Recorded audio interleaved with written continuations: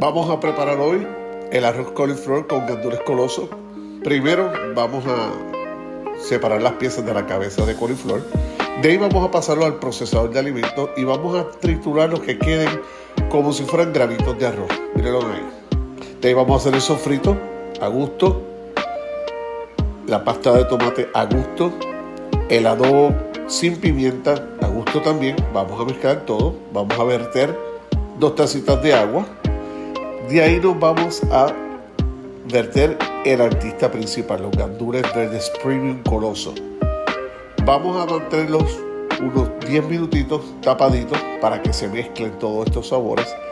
De ahí vamos a ir al coliflor que ya teníamos preparado y vamos a verter todo esto. Y vamos a mezclarlo suavemente.